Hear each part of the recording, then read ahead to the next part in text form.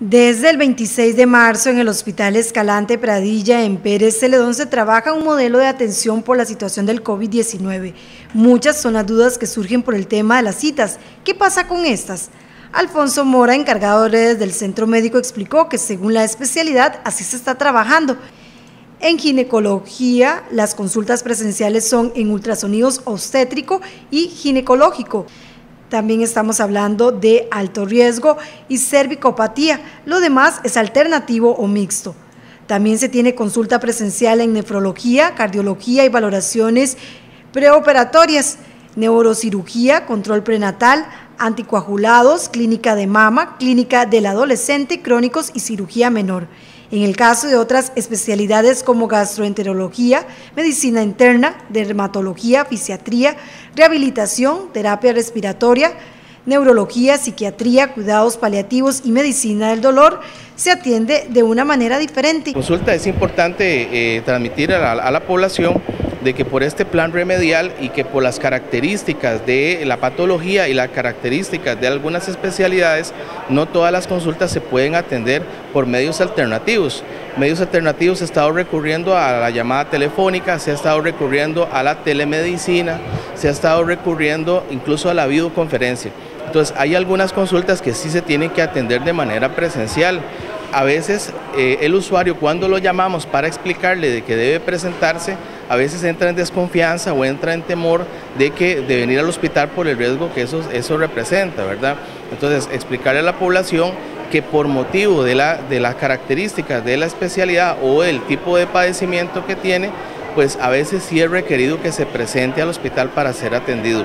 Entonces, que, que, no tenga desconfianza de la información que se le está dando, porque se le está dando la información de acuerdo a las condiciones que la especialidad o la patología requiere para ser atendido. Asimismo, se atienden también. Todos los pacientes que tienen problemas oncológicos o casos de cáncer se están atendiendo presencialmente.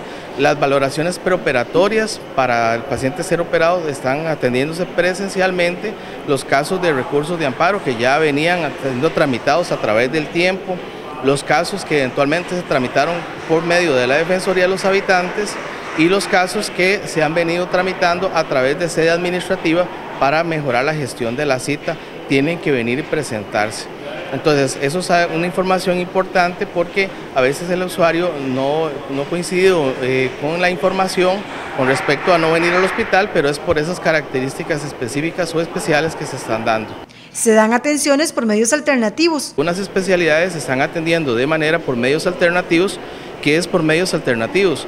Eh, todos los pacientes que tienen citas programadas, el profesional, eh, dependiendo del tipo de especialidad, revisa el expediente del paciente y lo está llamando para efectos de orientarlo de acuerdo a su padecimiento, de acuerdo a su, a su patología, cuál va a ser el proceso de atención que va a proceder en este caso. En algunos casos el, médico, el profesional le dice al paciente que pues debe venir para que sea valorado mejor en el consultorio para darle una atención más completa o más directa, por así decirlo. En algunos otros casos el profesional hace todo el proceso de atención en el expediente digital y se le orienta después para lo que es la parte de las recetas de control y para los posteriores estudios complementarios para la cita siguiente.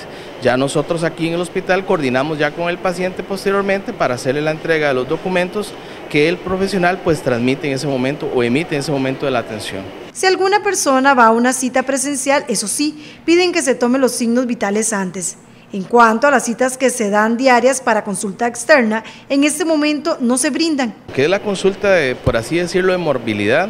que se atendía día a día, eh, en estos momentos no se está atendiendo. Ahorita lo que se está dando soporte es a las consultas ya programadas, definidas propiamente y que pues eh, se requiere que el paciente eventualmente tenga tratamiento o un seguimiento de su atención en salud.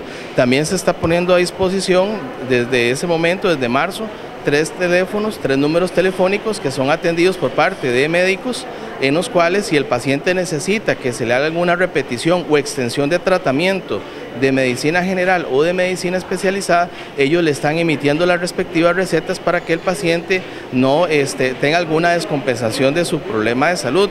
Si no es un caso particular como tal que necesita tratamiento, sino que ya lo que necesita es una atención, pues la, la oportunidad o la posibilidad sería a través del servicio de emergencias, que es lo que en momento estamos atendiendo. En el caso de procedimientos quirúrgicos se atienden los casos de emergencias y oncológicos. En lo relativo a los procedimientos programados de consulta externa, se están llamando paulatinamente a los usuarios para reprogramar la fecha de la cirugía. Para más información, cancelar o reprogramar citas pueden llamar a los números telefónicos 2785-0801, 2785-0710, 2785-0808 y 2785-0776.